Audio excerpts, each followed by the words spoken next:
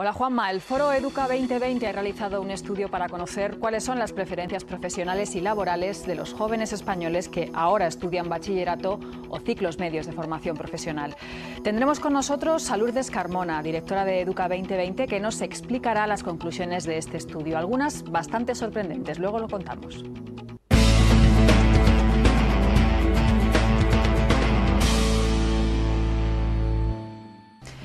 ¿Cuál es el futuro laboral y profesional que quieren los jóvenes? ¿Cuáles son las profesiones que más les llaman la atención? ¿Están realmente preparados para responder a lo que demanda el mercado? Estas son preguntas que ya nos hemos hecho muchas veces y que no es siempre fácil contestar. Ahora el Foro Educa 2020 ha dado un paso más para intentar dar algunas respuestas.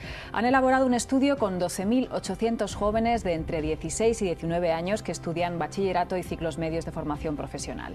Hoy tenemos con nosotros a Lourdes Carmona, es directora de Educa 2020 para que nos des, Lourdes, bienvenida, algunas eh, conclusiones de esa radiografía que habéis hecho, un poco de cómo, cómo piensan o qué, a qué aspiran o qué les gusta a los jóvenes de españoles. Muchas gracias, Ana, por traernos otro... ¿Y qué es lo más característico, lo más significativo de esa radiografía? Lo más nos ha llegado hoy a la, a la redacción y eh, para hacer esta revista hemos entrevistado a José Antonio Marina, hemos entrevistado al ministro de Educación, a la Secretaría de Estado de Innovación. Es un problema endémico en los países de, la OECD. ¿Por qué? Es una falta de referentes eh, femeninos únicas que a las mujeres. ¿no?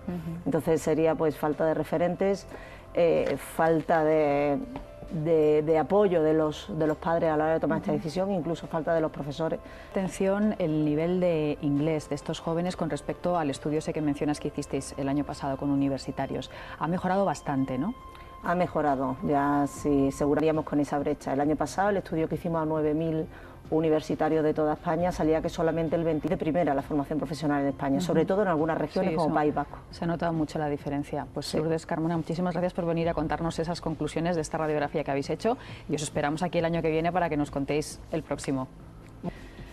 Banco Santander y 40 universidades han creado Santander X. Es una iniciativa que quiere convertirse la Comisión Europea y la organización Professional Women's Network ha puesto en marcha una nueva convocatoria de los Women Innovate. Una decena de madres recientes recibirán este mes formación para poder poner en marcha sus propios negocios a través de la iniciativa ContiGo del Ayuntamiento de Murcia. Les permite asistir a las charlas y talleres acompañadas de sus bebés.